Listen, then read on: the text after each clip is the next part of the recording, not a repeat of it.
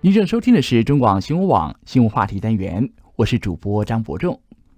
由于世卫组织弄错病毒株，连带导致今年秋冬国人接种的公费流感疫苗保护力可能从原本估计六到七成骤降到只剩三成。究竟这样的失误是怎么造成的？国内接下来该如何应应？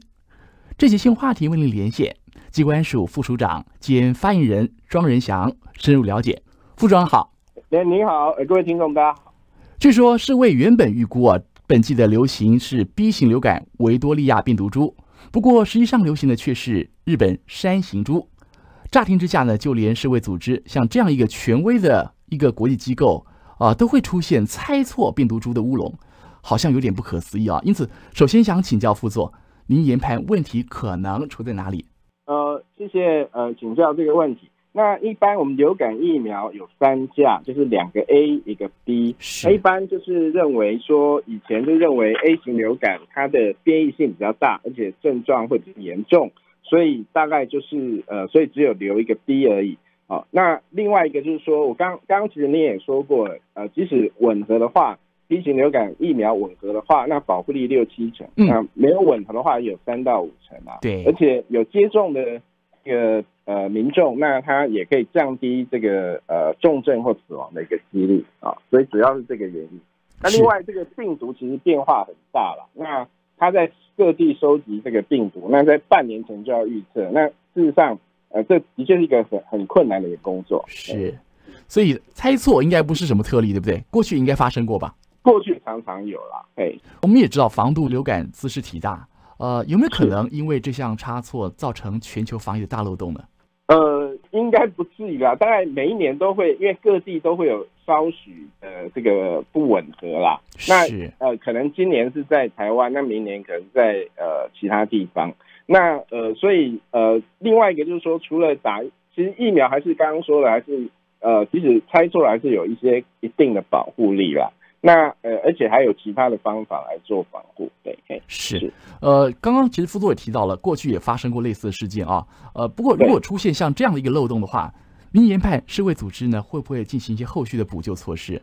哦，不会，这个这个应该是说，呃，就刚刚说过，呃，类似这样的状况其实每一年都有发生，而且各个国家都有。不同程度的这个猜错，对对，所以基本上世卫组织是一个属于咨询方面的机构了，对不对？他们不会负责实际上的一个整个防疫，或是不是？因为他这个的确是有很困难呐。那你就要认，就说是而且都是找全世界最顶尖的专家来来做这个，而且在半年前就做，它的确是一个非常困难预测的一件事情。对，好，呃，国际间无论在防疫或工卫层面，我们知道都是以世卫组织的动向马首是瞻。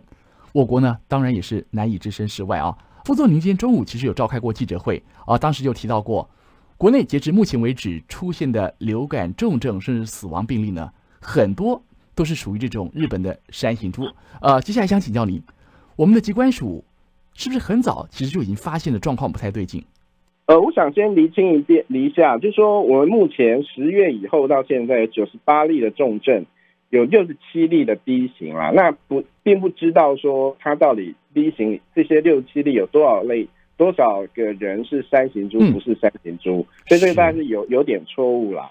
那另外一个就是说，事实上，呃，整个在其中也有三十有二十二例是这个 H 三 N 二，所以呃，事实上在今年夏天记得还还是流流行 H 三 N 二，那到一直到这个最近十一月。十一月、十二月才慢慢变成 B 型流感，但是你这样说，就说其实呃，不管怎么样，那呃，我们它还是有 H 三 N 二跟 H one N one 的这个保护力啦。那本本来流感病毒就是一个很多变的一个病毒，它总是会找到一个方式存存在下来，就是我们在这方面的说明。截至目前为止，发现它和山形猪或是维多利亚猪会不会因为这两种不同啊，所以产生比如说疫苗方面涵盖力或它保护力特别的不同？应该这么说，我们今年哈，如果跟前七年的同期的这个流感重症病例数来讲，其实在七年里面排中间，刚好第四名。所以其实像去年，去年呃，其实那个所有的都吻合，它的重症病例已经到两百二十例。对对，所以。所以怎么说呢？这个就变成说，不管不管它是不是吻合啦，或不吻合，那它也都有一定的保护力，那也不一定说不吻合就会造成整个疫情特别严重。是，现在病毒株弄错的消息传出之后呢，很多恐怕已经注射过公费疫苗的啊高危险族群啊，可能已经陷入情绪的恐慌了啊。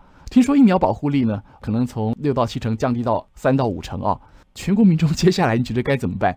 应该是来不及重新再再用新的疫苗来接种了吧？